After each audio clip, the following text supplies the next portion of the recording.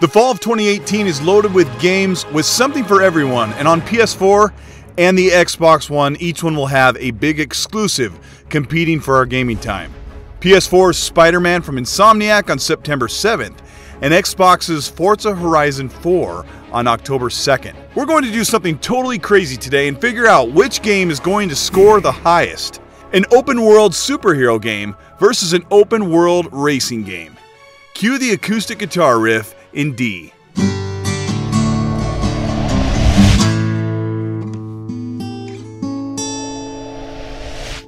If you haven't yet, go check out Dealer Gaming's comprehensive analysis of Spider Man vs. Batman Arkham. Both games have a similar approach to combat, fantastic stuff, and the link is in the description. I know it sounds like a joke, but today we are seriously going to compare the Spider Man game with Forza Horizon 4. And why? Well, because Spider Man looks to be one of PS4's best rated games of this year after God of War, and Xbox One only has Forza Horizon 4 this fall to answer with. Forza Horizon is no slouch. Yes, it's just a racing game, but most would agree that it's the best racing game of the past decade. Before we get started, let's take a look at games in the series and their respective Metacritic scores. We'll start with Spider Man. This is Insomniac's first Spider Man game. There have been many Spider Man games made by different developers, just looking at the PS3, 360 era through the current gen. So we'll take a portion of those scores into account and reflect them off the previous Insomniac games. We'll aggregate those scores and it'll get us in the ballpark for one perspective for a review score prediction. Second, we'll break down this new Spider Man game based on a categorical review. First of all, the Activision Spider Man games will answer that appeal of the character, Spider Man, in current video games, and they'll aggregate to a score of 62.4%, which is pretty low. But since that is not Insomniac, those were made by Activision with mixed reviews, we'll add a factor of an extra 10% since Insomniac typically gives their games more care and attention and that will bring the aggregate score to 72.4%. The Ratchet & Clank series is six games on PS3 and one on PS4. They average out to a score of 78.5%, and they lay the foundation of what Insomniac can do with platforming and combat. The Resistance series of three games may never live beyond the PS3 according to Insomniac, but the aggregate score for those is 85.3%.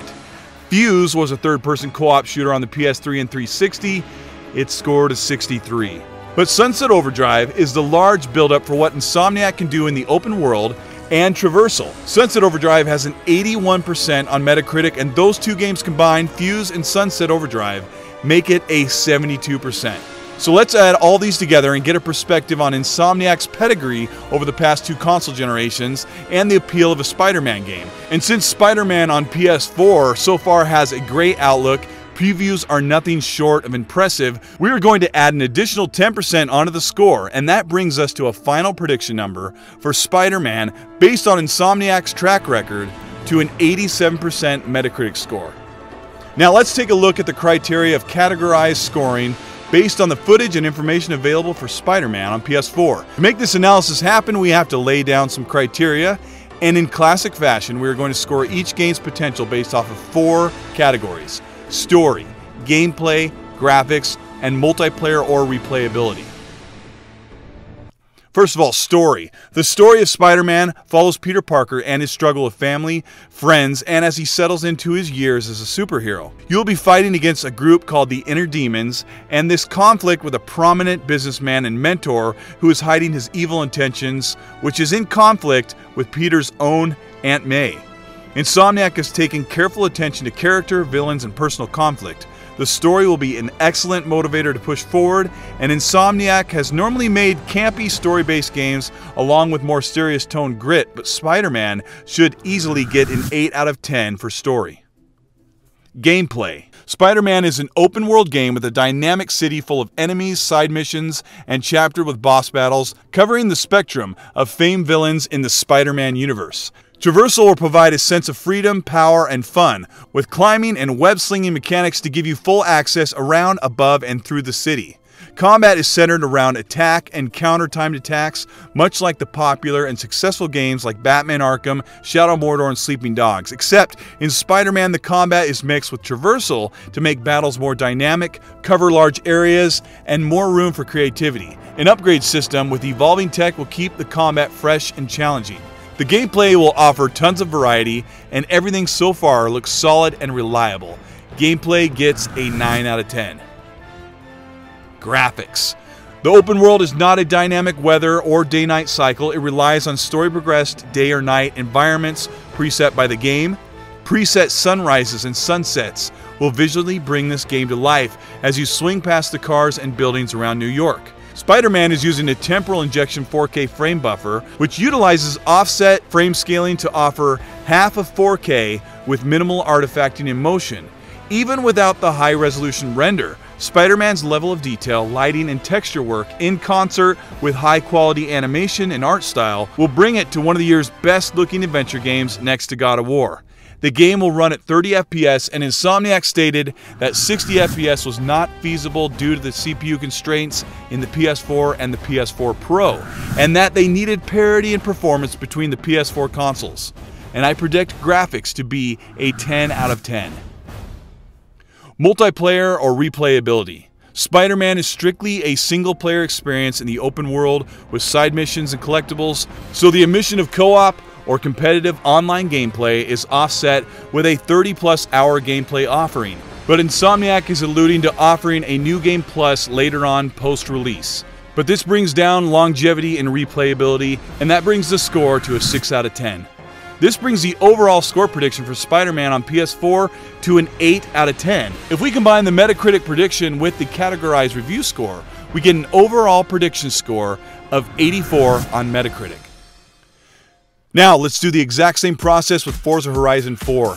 Each iteration of Forza Horizon has added more features, more events, more cars, and more variation, and more gameplay opportunities.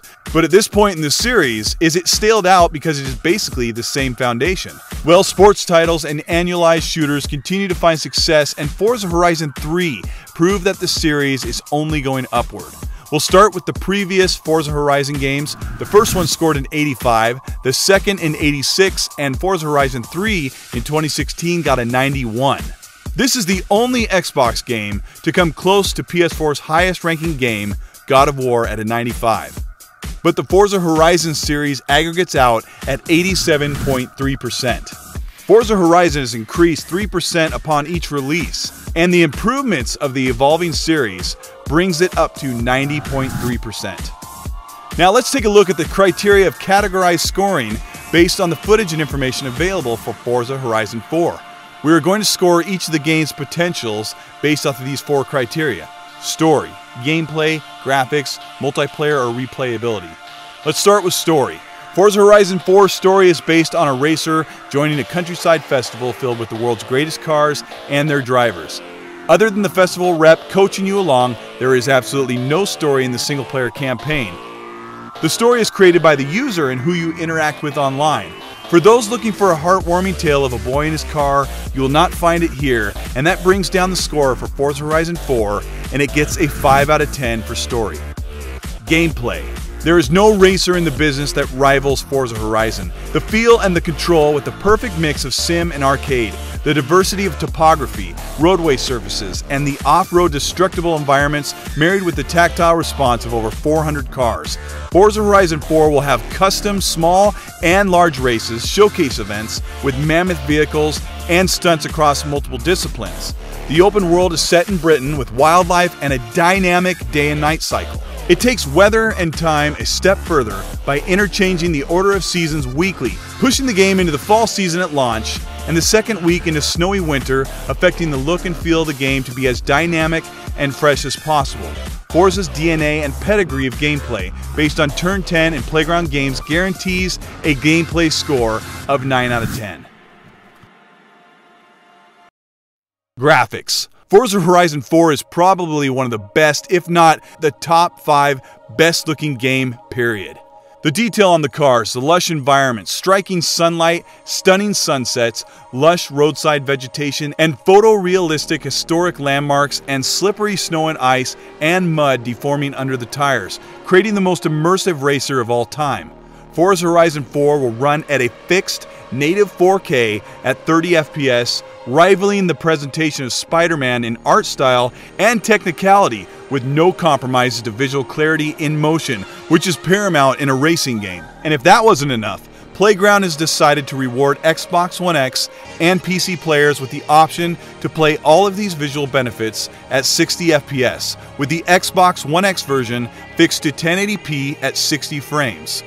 Graphics gets a score matching Spider Man at 10 out of 10. Multiplayer or replayability. Forza Horizon 4 has a robust single player campaign consisting of a variety of races competitively as well as cooperatively.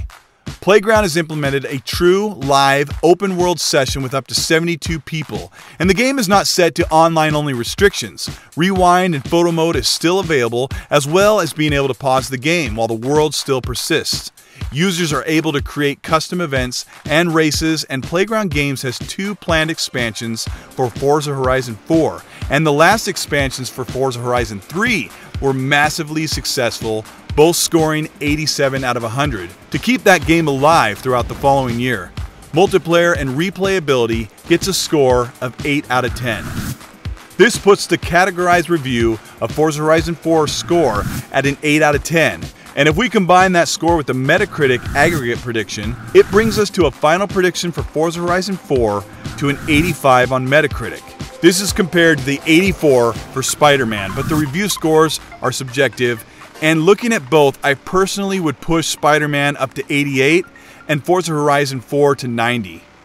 I know it's unorthodox to compare an open world action adventure game, especially one with such a huge character like Spider Man, with an open world racing game, but both will undoubtedly do very well, and you can't lose with one of the best superhero games in years and the best racing game around.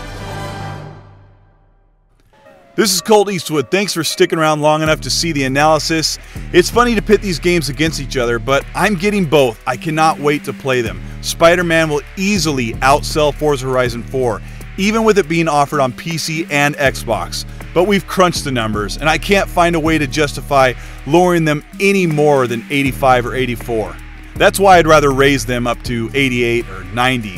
I'm anxious to see what all of you would score for both of these games.